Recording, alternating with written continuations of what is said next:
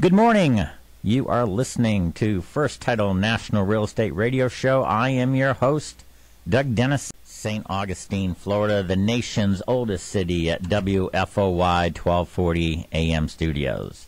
Through the power of the internet, this program is being streamed worldwide on 1240news.com. The show will also be archived on firsttitleservices.com and titlecompany.com. As First Title and Escrow Inc. are the sponsors of the program. They are a leading national title agency that covers approximately 40 states across the country. Additionally, the show will be posted on YouTube.com. Our radio show mission statement to provide an educational experience for listeners in a promotional format for real estate sales across the country. We are going to be talking about real estate, different real estate markets across the country. We've got a lot of topics today. Help us out. We got several real estate leaders calling in today. We've got them coming from South Carolina. We've got them coming from the Miami, Florida area. Um, so it should be exciting. Um, I hope everyone had a great, happy 4th of July and were with their families and friends and and celebrated safely, but uh, a, a nice day for all.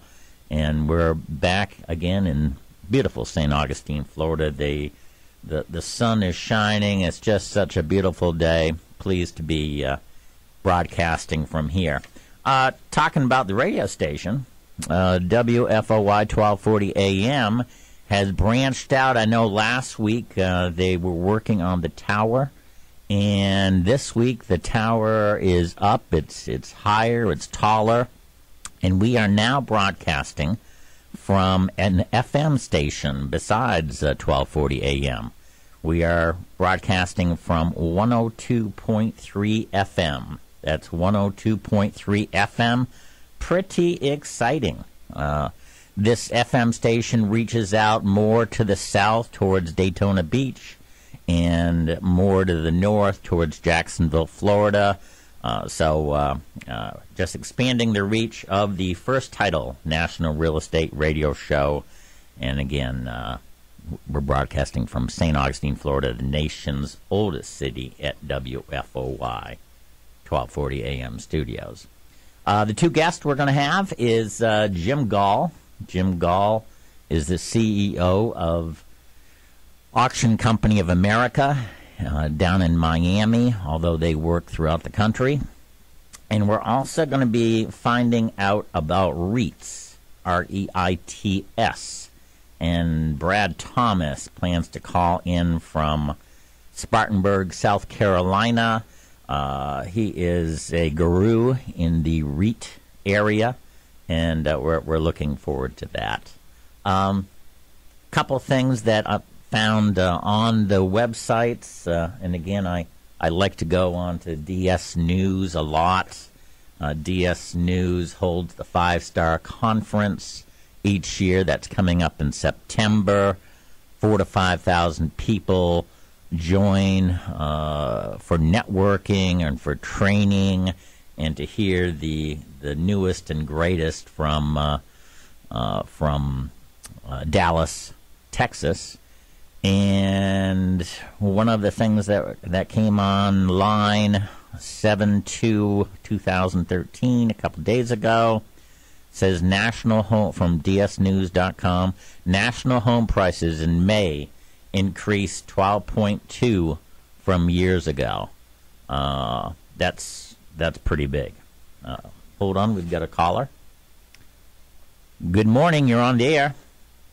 Good morning. It's Jim Gall from South Florida. Well, Mr. Gall, it's uh, great to hear from you again. Uh, uh, it's been a while since uh, we ran into each other, but uh, you and I are old friends, and and from the YMCA in Miami to uh, Auction Company of America, where where I worked with you for about four years. But tell us again who you are, where you're from, what you do, and all about that good stuff.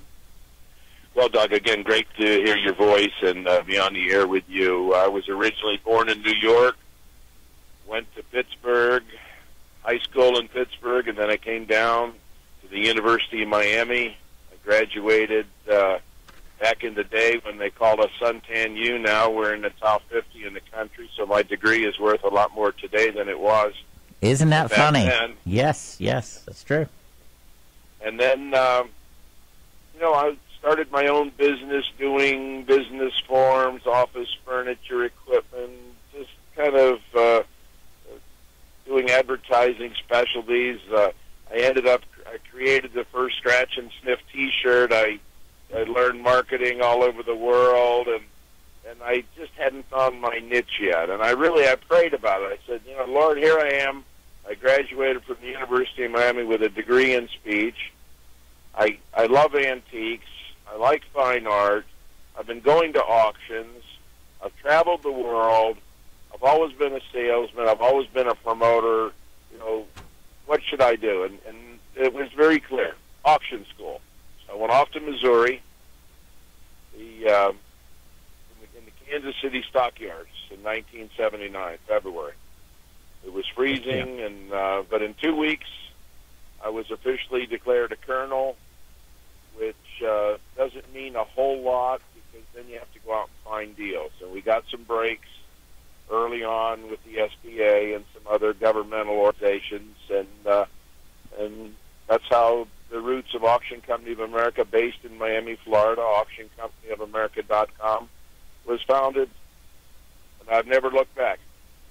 Well, you've uh, you you have the number one license in Florida. That uh, I remember because I was there uh, when that all happened, and I'm not exactly sure what year that would be. Uh, uh, Nineteen, boy. Um, I think it was '86. Okay. That's when, that's when Florida first established uh, auction laws for auction companies and for auctioneers. So uh, fortunate that we got the uh, license number one for the state of Florida, which we still hold, and then I have auctioneer's license number two for the state of Florida because that's a different license. Yes, it is. Yes, it two different licenses. Before we get into auctions, of course, which uh, is, is a passion with me and, and of course with you, uh, you got to tell my listening audience the uh, the great scratch and sniff uh, story. That's uh, that that's a that's a wonderful, exciting story. Well, I was sitting on an airplane back in the day, sometime in about the mid 70s, and I was just flipping through a magazine, and I saw a couple of ads. One was for a perfume, and you would just scratch it and sniff it, and you'd say, "Wow, that's uh, Chanel," or "That's whatever perfume it was." Right. And there was another one that would say, "Scratch and sniff the perfect martini," and you and you'd scratch and sniff that, and you'd smell a martini. And I, I was fascinated by it. So the first thing I did, I, I, I called the publication. I think it was Newsweek or Time, and they sent me to an ad agency. And then the ad agency, uh, they sent me to the 3M company in Minneapolis, Minnesota. So I called them up and I said, "Listen, I'm an on, I'm an entrepreneur. I'm down here in, in South Florida. I, I love this scratch and sniff concept, and I'm and I'm sure there's got to be more that can be done with it. But you know, how do I get involved?" And uh, they seemed to like my enthusiasm. They invited me up to Minneapolis, and uh, they met with me on a Saturday morning. Now, at the time, the 3M company, I think, had 120,000 employees all over the world. They had uh, probably 10 or 11 divisions. And the division that I was working with was the paper products where they were developing things like, uh, I guess, what would be called NCR paper or, or uh, you know, papers like that where you could write on the top and without carbon paper it would come through. And they were they were playing with this scratch and sniff, and they only had about 10 employees. So I had about six of them there that morning, and they were just saying, "Okay, well, look, we think we can do this with it. We think we can do that with it." And, and you know, we're all for, for working with, um, uh, you know, not selling direct. We're we're looking for dealers. We're always looking for promoters. So uh, here, we'll give you some samples and take them home and see what you can do with them. So at the time, I lived in Coral Gables, and I, I went to um, a Gulf station. And if you recall, way back in the day, they used to sell those little tin uh, bug killers where you put your uh,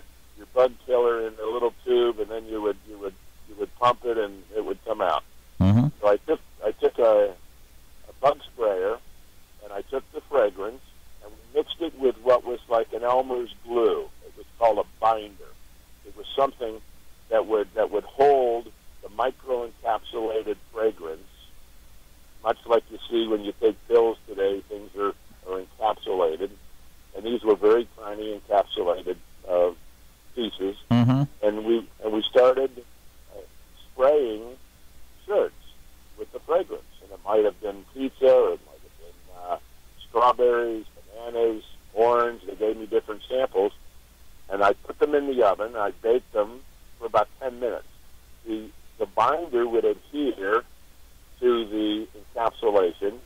The water that was part of the encapsulation solution would um, uh, what's the word I want would uh, dry and evaporate, and we'd bring the shirt out, scratch it, and sure enough, there it was. It would smell like strawberry. Now the trick was how will this hold up in a washer and a dryer? Mhm. We've done this for about a week, and it got to the point where we could come up. We came up with a formula that a shirt could go through 10, 12, 14 washings, and you could still bring it out. And for a kid, he could still scratch it, and it would smell like strawberry. So we knew we had something. Uh, Tropic magazine uh, put me on the cover. Uh, back then, uh, that was a, a section of the Miami Herald Yep. you know, and, and Newsweek wrote about it, King of the Smellies, and, uh, and I went all over the I went all over the world. I did shows in Chicago, McCormick Place, in Las Vegas, New York, and uh, and sold the fragrance. Worked with Tropix Togs, who, who at the time was the largest supplier of Disney shirts. Uh, they're no longer in business. That that's many many years ago, and it, it, went, it went up like a hula hoop and then came down. And uh, but it was a great marketing experience. But but you are the king of promotion. So what did you do uh, with the NFL Monday Night Football?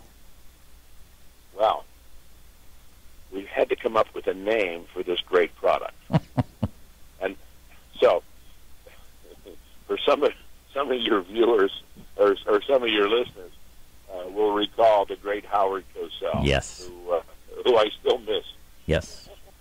as an announcer for boxing or football or anything else.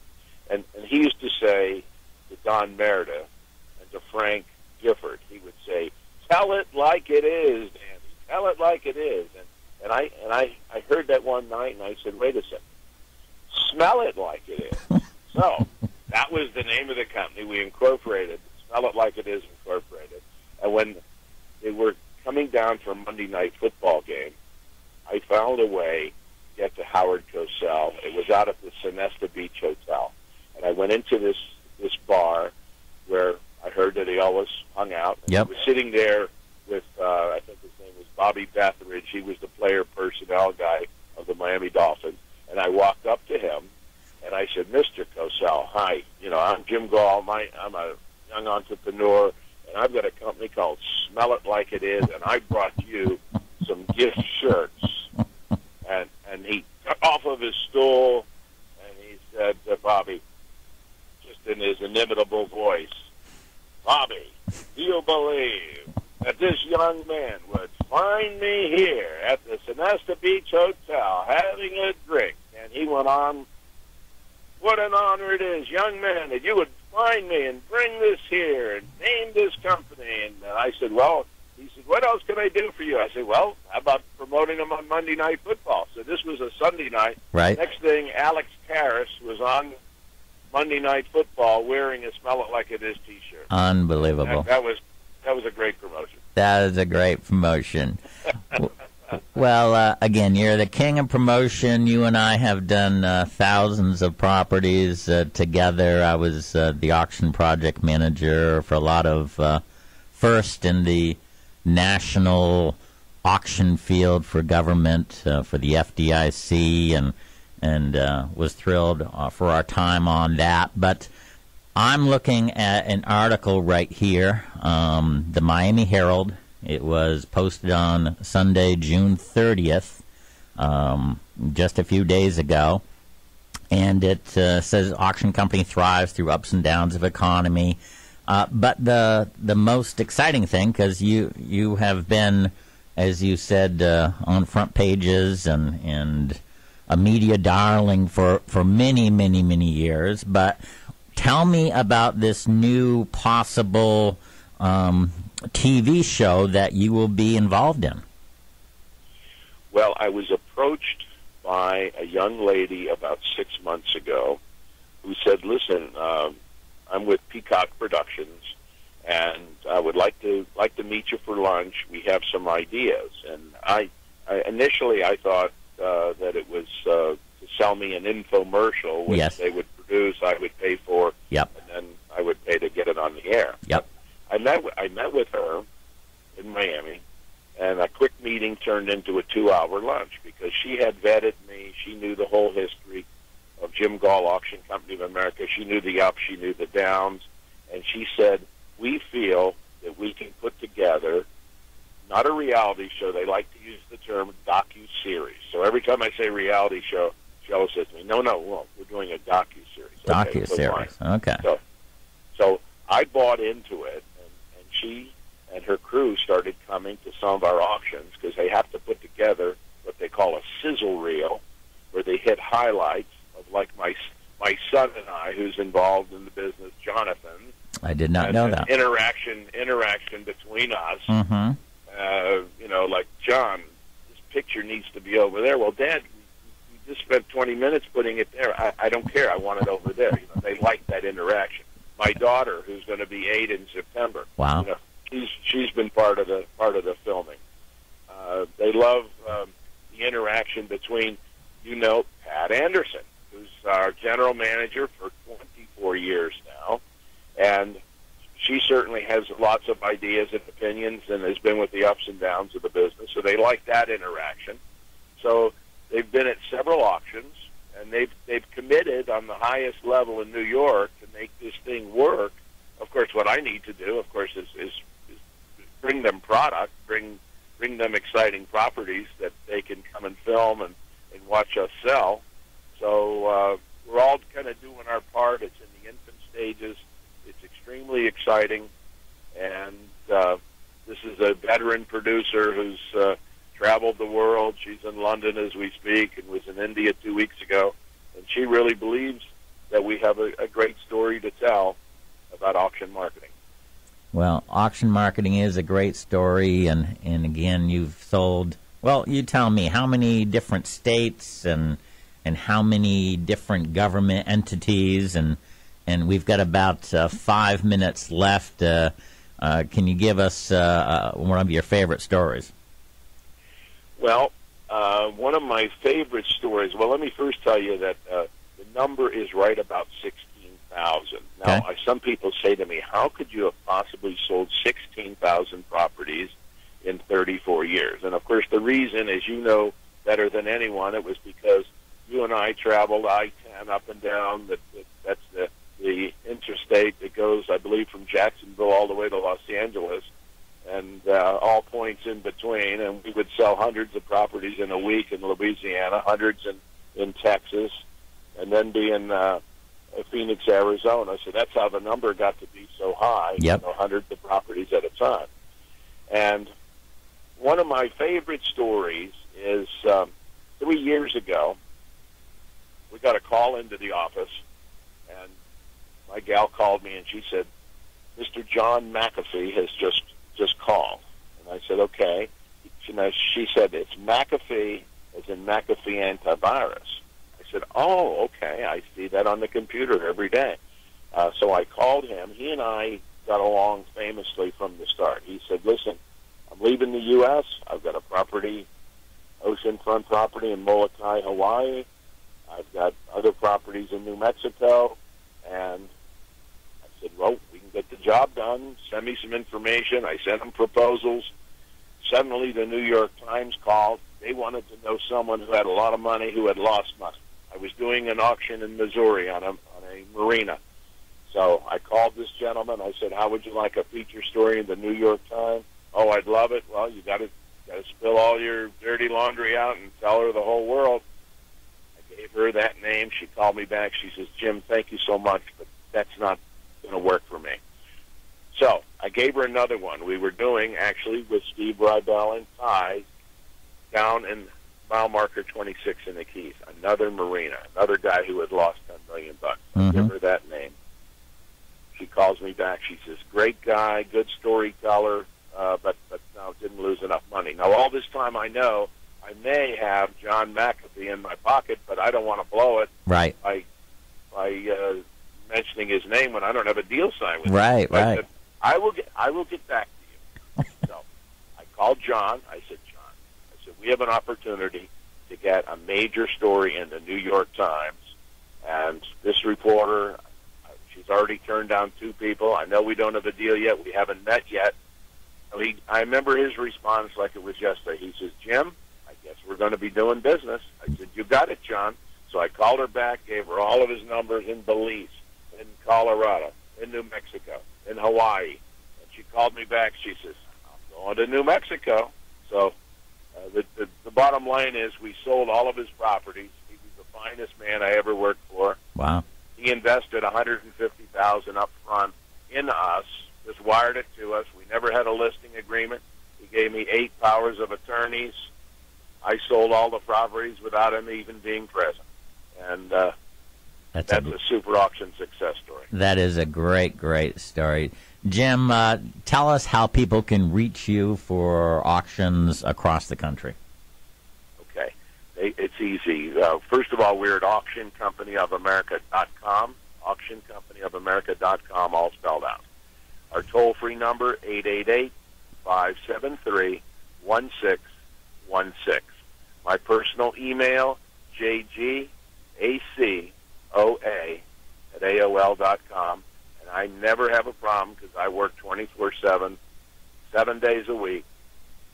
My cell number, 305 775 0731.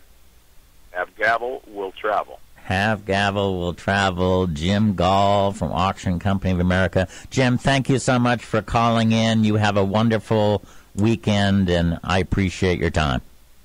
God bless you and your family, Doug. You bet. Take care now. Bye bye. All right, that was Jim Gall. Jim Gall of Auction Company of America, probably the one of the greatest uh, promoters I've I've ever met. Uh, uh, his story about the scratch and sniff and and having uh, uh, Howard Cosell uh, get excited about his product and having Alex Karras uh, wear the shirt is is just uh, one of the few amazing stories that uh, I could I could talk to you about. And again, Jim Gall and I uh, worked together for about four years, and uh, I appreciated his time this morning. Uh, we'll be back next week, and thank you.